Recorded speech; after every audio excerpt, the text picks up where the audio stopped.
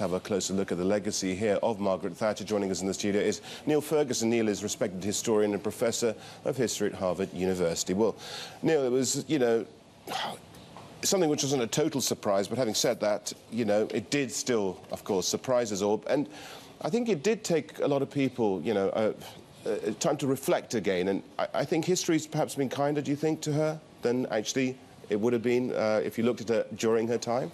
Well, at the time Margaret Thatcher was forced to resign back in 1990, uh, British opinion certainly was uh, hostile to her, including British Conservative opinion. After all, she was got rid of by her own party because they were sure she would not be able to win another election.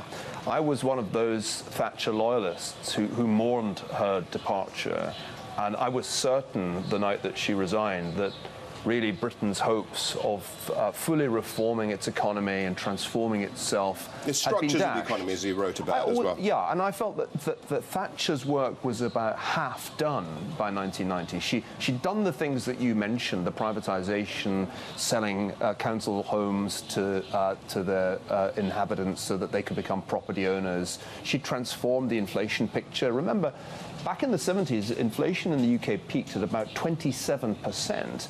Uh, you also had a chronic problem of labour unrest in a single month in 1979, the UK lost 12 million days to strike action. Well, she addressed all of those problems, but there was a lot of unfinished business in 1990. Unfinished business, for example, in the healthcare system, unfinished business in the educational system, and she was also fighting a losing battle against Europe. But hadn't she lost touch? That was the point at that stage with the poll tax, particularly the community charge.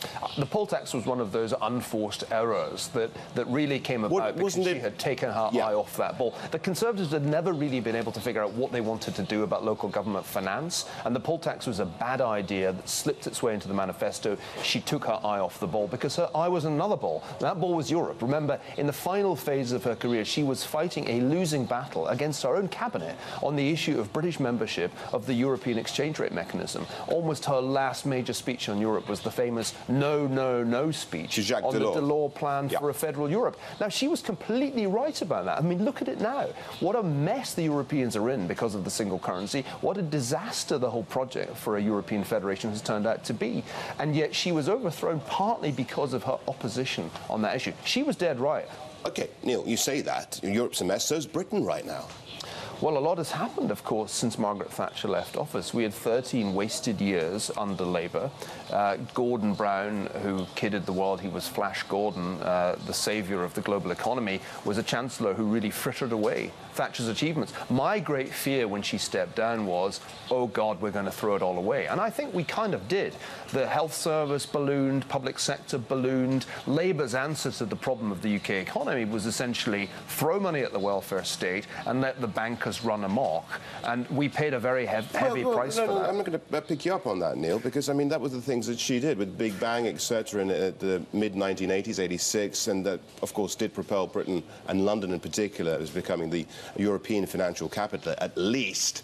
Now that unfettered, unregulated uh, industry, which gradually has, of course, had regulation creep up on it was uh, responsible what happened in 2008. And you could argue that that was a legacy to well, some extent. You could argue, but you'd be completely wrong if you argued it. Remember, no, I'm still the big, am, the even big, if I'm completely The wrong. big regulatory change in London was not Big Bang. It was Gordon Brown's reform that took away supervision from the Bank of England and gave it to a new financial services authority, which totally failed. So I think when, when one's trying to identify the causes of the crisis, it's not plausible to blame it on Margaret Thatcher. Margaret Thatcher brought about a renaissance of the British economy. The City of London was part of that renaissance. But the crisis, I think that lays, lies firmly at the door of the Labour government uh, of uh, Tony Blair and Gordon Brown. Niall, I'm, I'm, going to play devil's advocate again with you. I mean, look at manufacturing and how that was destroyed under under Margaret Thatcher in the early 1980s. Admittedly, a lot of these industries were highly inefficient. I grew up in manufacturing Britain in central western Scotland. Uh, my grandmother lived next door to a steelworks. I, I know what British industry was like in the 1970s. It was a disaster. Between the trade unions and incompetent management of nationalised industries, this was not a sector that you could save. The only way forward for Britain was a radical restructuring away from these defunct Rust Belt industries. And by the way, exactly the same thing happened happened in the United States in the same time frame. So no, I don't buy the idea that somehow if Arthur Scargill and Michael Foot had been in I'm power, we'd be an that. industrial I'm, powerhouse. I'm certainly not saying that. I'm just saying that what happened is that Britain does not have an industrial base, anything like it. Uh, like it did, even when it was efficient in the 1960s, perhaps arguably. Well, I mean, Right. I'm not even sure that that's a compelling argument. One has to recognise the problems of British manufacturing go all the way back to the 1940s and beyond, and it wasn't something that Margaret Thatcher could turn around. Okay, let's then talk about, you mentioned America there, and I think one of the enduring things were the, the relationship between Ronald Reagan and Margaret Thatcher. Absolutely, this was a crucial relationship. It ended the Cold War in many ways. Their determination to be tough with the Soviets in the early 1980s, when remember they were deploying short range and intermediate range nuclear weapons all across uh, Central Europe, that determination to be tough forced the Soviets into a rethink. They couldn't match the armaments expenditures of NATO, and that was what led ultimately to Mikhail Gorbachev. What's impressive about Reagan and Thatcher in that mid 1980s moment was the realization, which Margaret Thatcher had first, that you could do business with Gorbachev. That business was to end the Cold War and ultimately to destroy the Soviet Union. You know, when I think back to the 1980s, as a Thatcher supporter, are two things about which I'm really proud. One, the British economy was turned around, despite what the devil's advocates may say. But two, even more importantly, the Cold War ended with victory for the West. Not many people on the left in the 1980s were on the right side of that. Well, they believed in this convergence theory, didn't they, that everybody was looking the same by the end. Or unilateral nuclear disarmament. Remember, many of my contemporaries at university in the early 80s were members of the Campaign for Nuclear Disarmament. They wanted to give away the West's nuclear capability, which would have been insane. So, no, she was completely on the right side there. And I think historians looking back in the 80s will say nobody contributed more to the end of the Cold War and to the West's victory than Margaret Thatcher.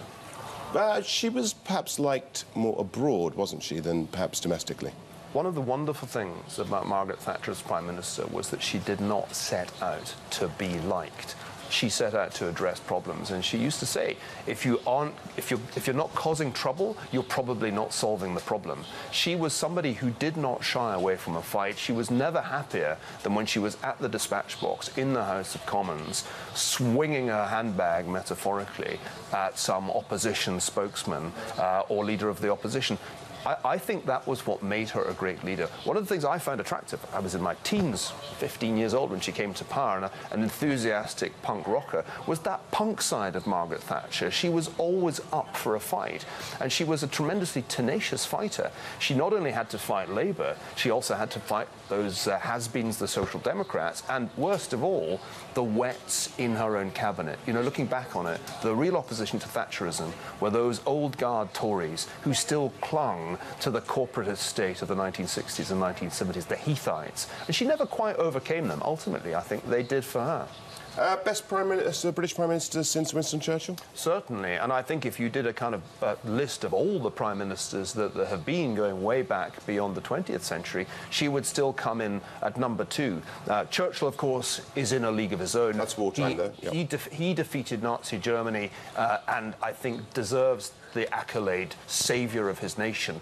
But you know, Margaret Thatcher was also a saviour for Britain. And although she's not quite in the same league as Churchill, that's only because the historical circumstances were different. Well, she was also a wartime leader, wasn't she? We could argue too. She was indeed, and, and won her wars. Thank you very much indeed. Niall Ferguson.